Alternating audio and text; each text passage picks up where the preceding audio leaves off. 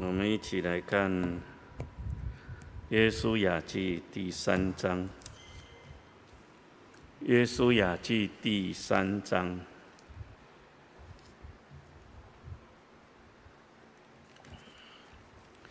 耶稣雅记》第三章第一节，我们一起把第三章读一次，《耶稣雅记》第三章第一节。耶稣亚清早起来，和以色列众人都离开石亭，来到约旦河，就住在那里，等候过河。第二节，过了三天，官长走遍营中，吩咐百姓说：“你们看见耶和华你们神的约柜，又见祭司立位人抬着，就要离开所住的地方。”跟着约柜去，第四节，只是你们和约柜相离要两两千走，不可与约柜相近，使你们知道所当走的路，因为这一条路你们向来没有走过。耶稣亚吩咐百姓说：“你们要自觉，因为明天耶和华必在你们中间行奇事。”耶稣亚又吩咐祭司说：“你们抬起耶柜，在百姓前头过去。”于是他们抬起耶柜，在百姓前头走。耶和华对耶稣亚说：“从今日起，我必使你在以色列众人眼前尊大，使他们知道我怎样与摩西同在，也必照样与你同在。”你要吩咐抬约柜的祭司说：“你们到了约旦河的水边上，就要在约旦河里站住。”约书亚对以色列人说：“你们近前听来听耶和华你们神的话。”约书亚说：“看啊，普天下主的约柜必在你们前头过去，到约旦河里，因此你们就知道。”你们在你们中间有永生神，并且他必在你们前面面前赶出迦南人、赫人、西魏人、比利洗人、呃格加撒人、亚摩利人、耶布斯人。你们现在要从以色列支派中拣选十二个人，每支派一个人，等到台普天。下主耶和华约柜的祭司，把脚站在约旦河水里。约旦河的水就是从上往下流的水，必然断绝，立起成列。第三节第十四节，百姓离开帐篷要过约旦河的时候，抬约柜的祭司乃在百姓的前头。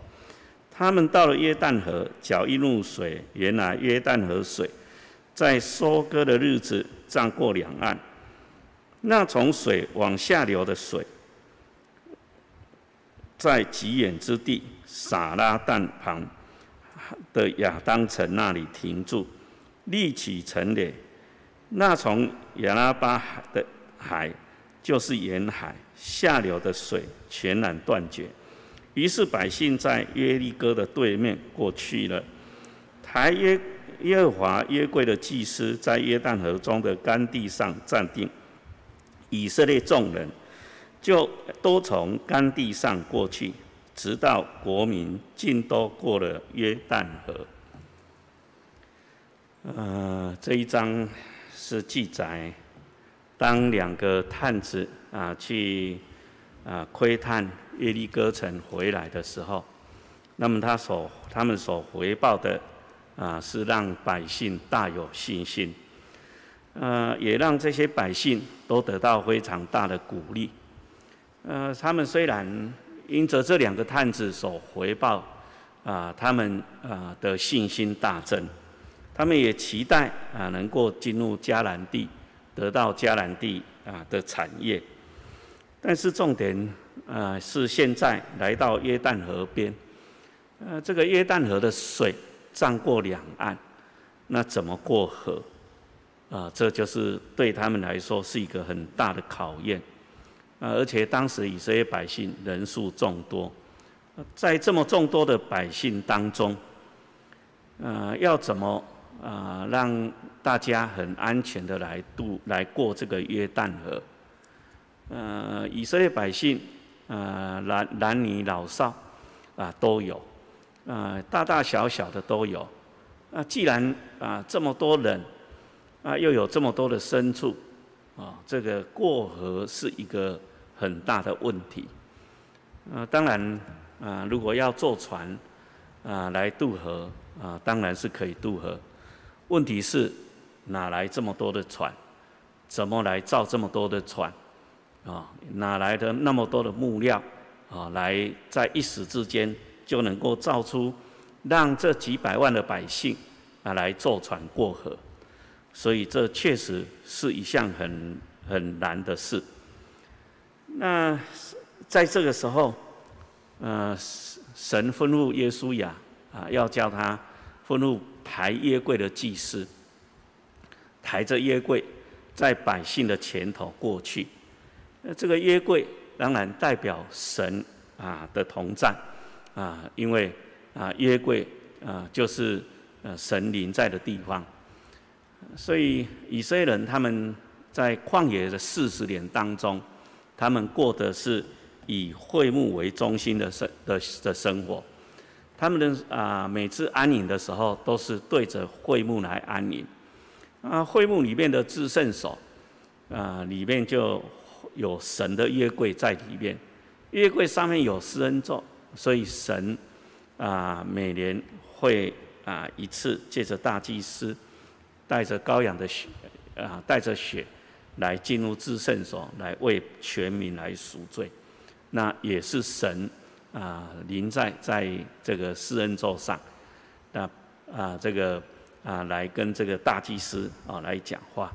那所以这是代表神同在，神在他们当中。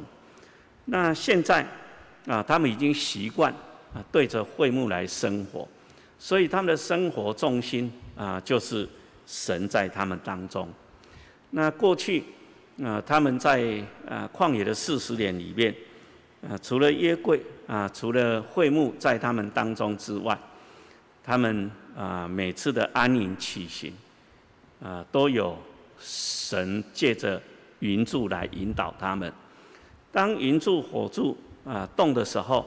啊，他们就需要拔营起行；当云柱火柱停下来的时候，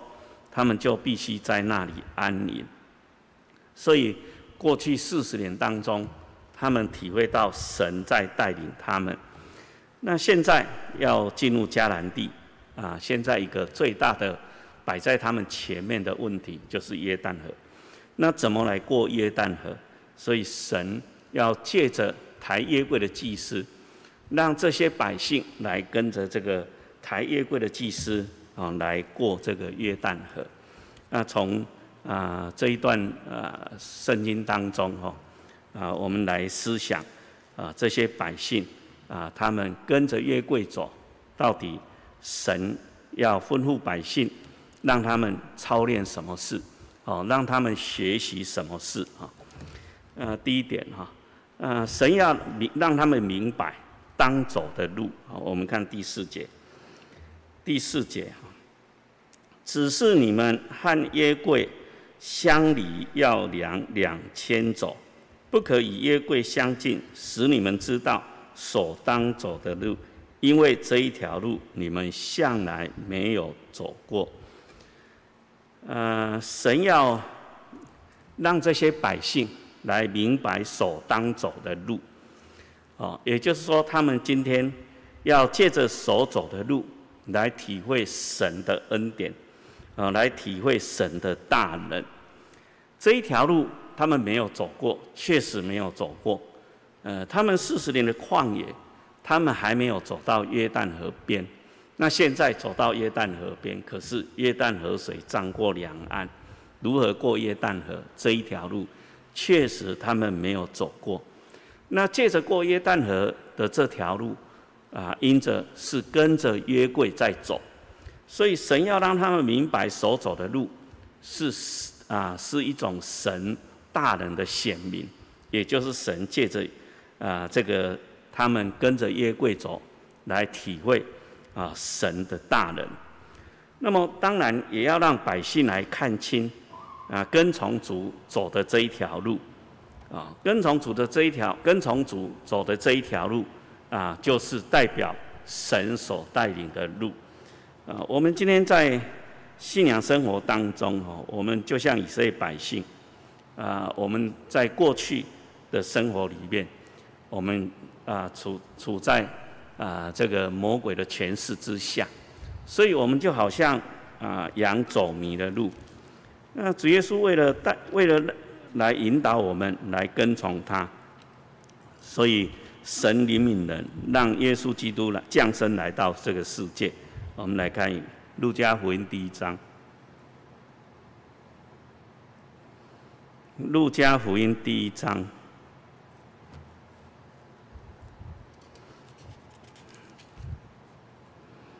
七十八节，《路加福音》第一章七十八节。因我们神怜悯的心肠，叫清晨的日光从高天临到我们，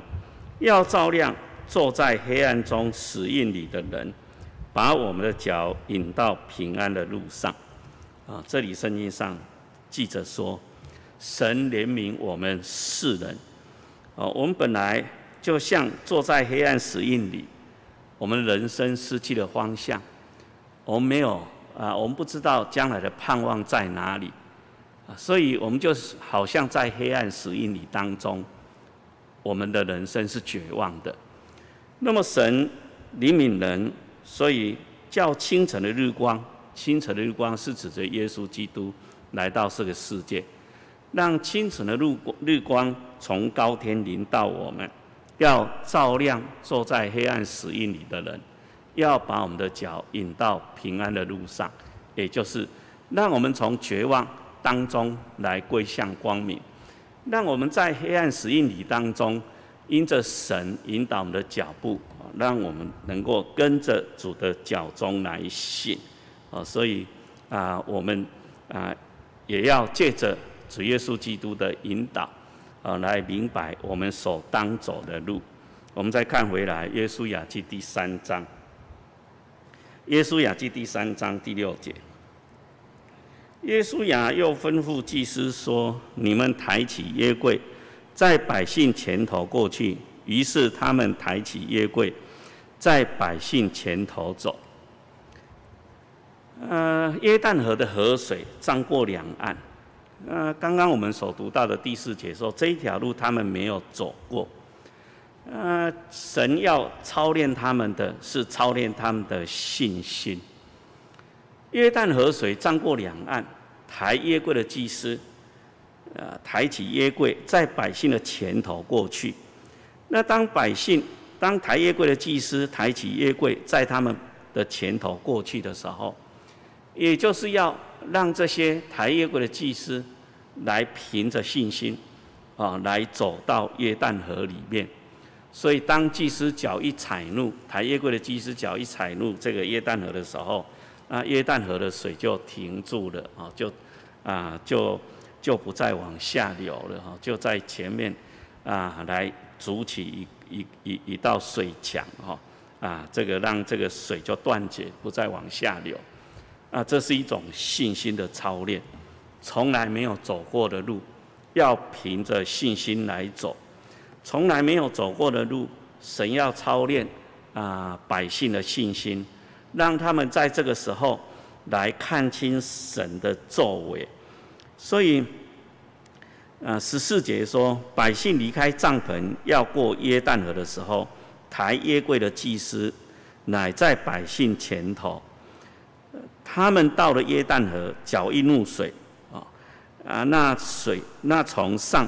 往下流的水，便在极远之处之地，啊，在亚当城那里停住，立起成列，然后啊，这个下流的水就断绝，啊，那百姓就在耶利哥的对面来过去了，啊，呃，我们看这里哈，啊，这些百姓是。啊，亲眼在那里看着抬月柜的祭司在他们前头过去，那这个水就断绝，不再往下流，所以他们就跟着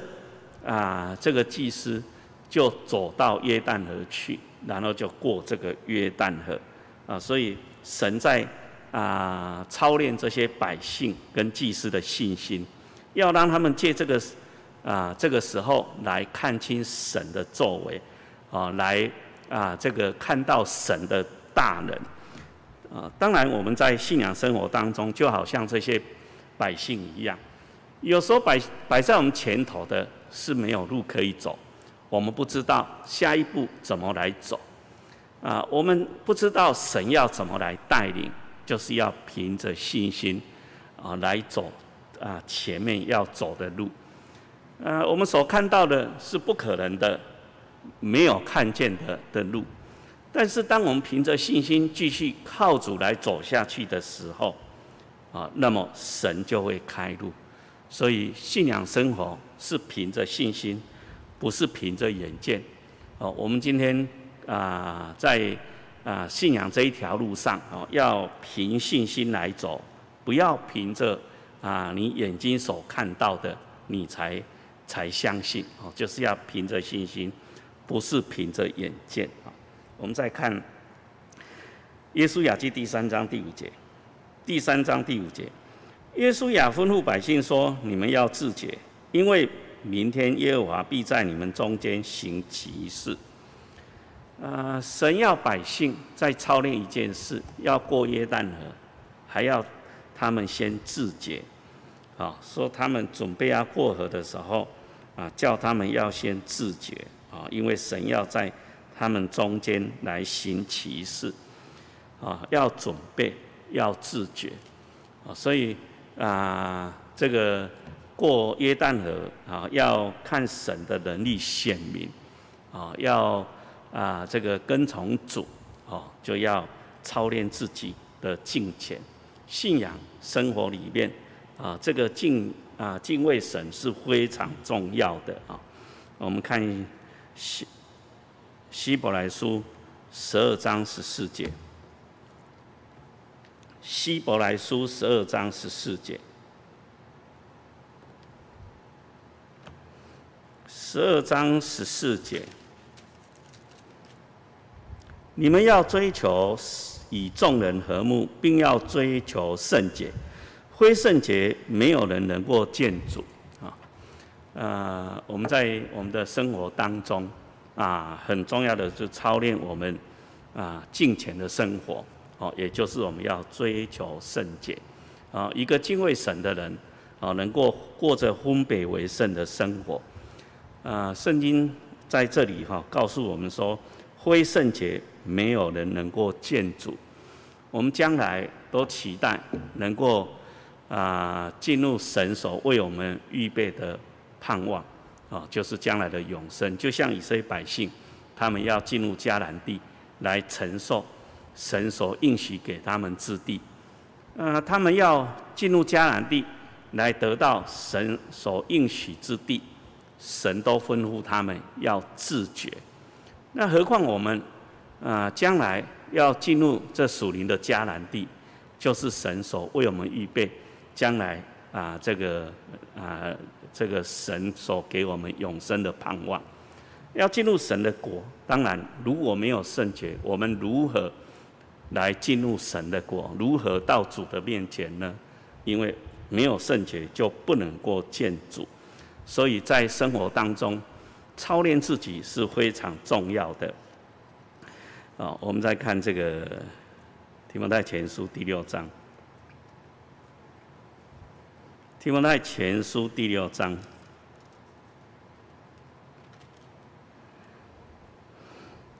提摩太前书第六章第三节，第六章第三节，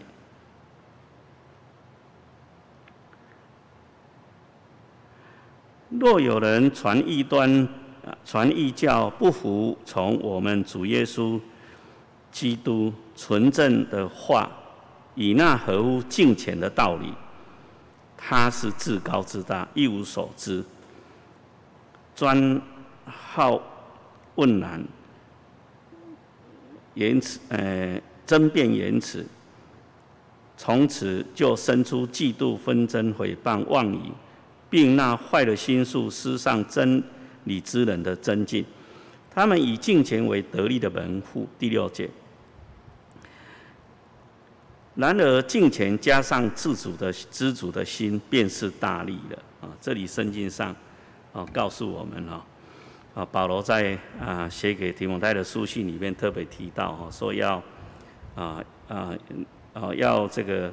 啊谨慎哈，不要服从那些啊传异教的哈，我们应该是要能够有纯是有耶稣基督纯正的话。和合乎敬虔的道理，神的真理是合乎敬虔的，啊，神的道是敬虔的，所以让我们在信仰生活当中，啊，我们敬畏神，哦，要操练啊这个啊敬虔的心，哈。我们再看第四章的提摩太前书第四章的第八节，第四章的第八节。操练身体益处还少，唯独敬虔，凡事都有益处，因为有今生和来生的应许。啊，我们人活在世上，很多人很重视的就是健康的身体。那所以我们为了要能够有一个健康的身体，啊，所以我们有一句话说：要活就要动，就是要运动，啊，要操练自己，好，要运动。那操练身体啊，来注重这个啊适当的运动，哦，让自己的身体保持在最佳的状态，哦，这个是操练身体。那当然这是很好的哦，因为本来操练身体本来就是一件好事哦，让自己能够健健康康，哦，能够啊身体保持最佳的状态。但是它虽然是好的，可是如果跟啊这个啊，敬虔的心来比较，哦，当然敬虔更重要。所以操练身体，啊，纵然是很重要，啊，但是这里说唯独敬虔凡事都有益。为什么？啊，操练身体只是让我们肉体啊能够在啊这个能够比较健康，啊，但是呢，操练敬虔呢，是让我们今生和来生哦都能够得到益处，哦，也就是能够得到今生。跟来生的应许，所以啊，这是非常重要啊。我们今天基督徒的信仰生活里面啊，这个敬虔的生活，也就是从内心来敬畏神，好操练自己啊，能够有敬虔的心啊，能够有追求啊分别为圣的心啊，这是非常重要的。我们再看到耶稣雅记的第三章，耶稣雅记的第三章。耶稣雅记第三章第六节，第三章第六节，耶稣雅又吩咐祭司说：“你们抬起约柜，在百姓前头过去。”于是他们抬起约柜，在百姓前头走。嗯，我们看这个抬约柜的祭司哦，他们现在要在百姓面前抬起约柜，啊，先走。到这个约旦河，嗯，但是约旦河的河水啊是涨过两岸，也就是当时约旦河是满水的。那满水要渡河，当然更难。那这个约柜哦，其实是不好抬的啊。如果我们啊去从啊这个呃立位记里面啊跟出埃及记里面去看啊，神要摩西。啊，来造这个约柜的时候，啊，约柜的那个造法是是上上面重，那底下是轻的，那所以两根两根杆子穿过去是穿在这个一半的以下，啊，所以抬起来啊是不好抬的，啊，也就是说抬约柜的祭司啊，第一个他们抬起的实力必须要啊能够。啊，大家同心啊，能够啊，力量是一致的。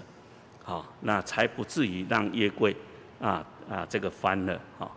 那啊当时的河水又涨过两岸，在满水的情况之下，对祭司来说，其实也是在操练他们的信心跟同心。如果当中有人信心软弱，却步了，不敢往前行了，因为河水是满水的。不敢往前行了，那么如何能够看到神的全能啊在那里发生呢？如何能够看到神的大能大力来显明呢？啊，所以信心跟同心在这里就显得非常的重要。台业会的祭司啊，每个人都要绝对的相信神啊，因为对神有绝对的信心，所以在啊，面对这个满水的约旦河水，他们不却步，他们不胆啊不胆怯，他们能够凭着信心，勇敢的脚就往啊这个河水踩进去，啊，他们很同心的啊抬着这个约柜，啊，让这个约柜很顺利的在这几个祭司抬着的时候，啊，能够啊他们走的。啊，非常的平顺，啊，然后顺利的往约旦河走，啊，来看到神所显出的大能大力，啊，我们今天在信仰生活当中，啊，教会的发展，我们要让啊神的名能够得到荣耀，很重要的就是我们大家的同心，啊，如果大家不能够同心，那教会如果如何发展呢？所以从植物人员啊，从弟兄姐妹，从我们信徒的每个家庭，我们大家都能够同心合意啊，我们不法都一致啊，我们都能够啊，大家对神有绝对信赖的心，靠着啊神的心来走这一条天国的道路啊，不管前面可能是。啊啊，看不到前面的路，不知道摆在我们前头的啊是多大的危险，我们都能够啊凭着信心同心的来走下去啊，那这样很自然，神啊就会为我们开路，我们就能够看到神的全能啊。我们看《腓立比书》第四章，《腓立比书》第四章。第二节，《腓立比书》第四章第二节，第四章第二节，我欠有阿爹和寻都基要在主里同心，我也求你们真实同父一恶，帮助这两个女人，因为他们在福音上曾与我一同劳苦。还有格里丢和其余和我一同做工的，他们的名字都在生命册上。啊，这是保罗哈写给菲利比教会的书信里面，啊，特别提到几个曾经跟他一起同工的，哦，啊，特别提到这两个女人。那这两个女人啊，跟曾经跟保罗一起同工，保罗在这里怎么说呢？啊，说要在主里同心，啊，那我也求你在真实，在这真实同父一恶的，哦，来帮助这两个人，在真实同哦，在说啊，这真实同父一恶，哦，同父一恶，啊，我们在这个。呃，马太福音十一章里面有啊，有读过哦。主耶稣说：“还劳苦担重担的人，可以到我面前来，我就使你们得安息。”然后主耶稣说：“你们当负我的恶，学我的样式。”哈，这个恶，恶就是牛恶，好牛恶。好，那保罗在这里也用到这个恶。巴勒斯坦地的的这个牛恶是两条牛同负一恶，啊，不像我们台湾过去啊这个农业社会时代哈。我们台湾过去在啊这个工作犁田哈拉车用的是水牛，那水牛是一个一条一只水牛哈啊负一个二，所以是一只水牛在拉。那巴勒斯坦地当地是用两只两条牛，哦同负一个二，然后一起一起拉。那主耶稣他叫我们要负负他的恶，说我们要。啊，父主的恶，学主的样式，也就是我们在信仰生活当中，哈，我们要承担主的工作。那这个承担主的工作，用负恶，啊，主要是用负恶来来做比喻。承担主的工作，表示与主同负恶，与主同负恶。那两条龙在同负恶的时候，当然两条龙的啊，要能够步伐一致，哦，要同心同行。才有办法很顺利的来工作。那当然，我们今天在信仰生活里面，我们除了与主同负二以外，我们弟兄姐妹彼此之间，我们也要同负一二。好，也就是说，我们每个人都来跟主同心，能够同负一二。好，这个就是同心同行，在主里同心，当然啊，这个神就同工，所以能够同心就能够同工。那就能够同行，信仰这一条路是大家要能够同心同行。夫妻不能够同心的时候，就无法同行。啊，如果信仰步调不一样，当然走的就很辛苦。那在教会推动各项的事工，如果大家不同心，那事工推动起来就不顺利。哦，所以同心才能够同工，那才能够同行，那才神才会同工。我们再看回来。耶稣雅记三章，耶稣雅记第三章十七节，耶稣雅记第三章十七节，第三章十七节，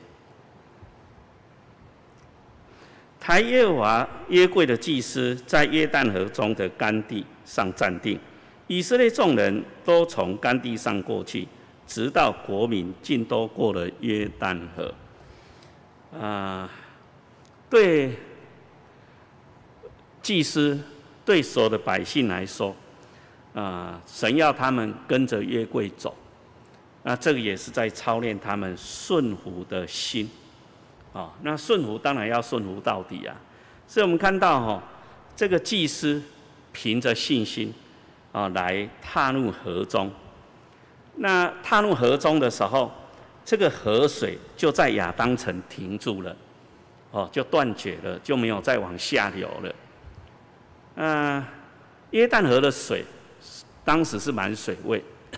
突然断绝，对百姓来说，这么多的百姓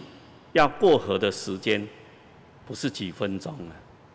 哦，要相当长的时间。那么多人走约旦河，要有一段相当长的时间呢。那这么长的时间，谁能够保证？说这个水不会再流下来呢，所以对他们来说，其实这是一个很大信心的操练啊。如果他们相信神，就会顺服神，因为神这样吩咐，因为神这样告诉耶稣亚，这样来吩咐百姓。那他们对神有信心，凭着信心走下去，信心很自然。就会带带出人顺服的心。我们有时候没有办法顺服神，是因为我们的信心不足。如果我们对神有绝对的信心，我们对神的话就会顺服到底。好，我们就不会产生恶心，我们也不会啊，这个这个走到一半不敢走了。所以我们看百姓，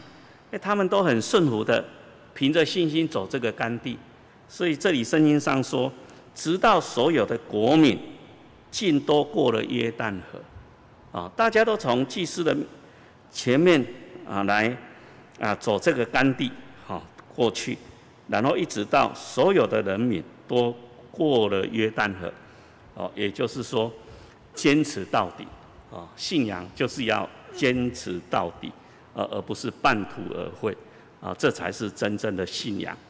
跟着耶柜走，神要来操练这些百姓，明白所当走的路，要来操练他们的信心，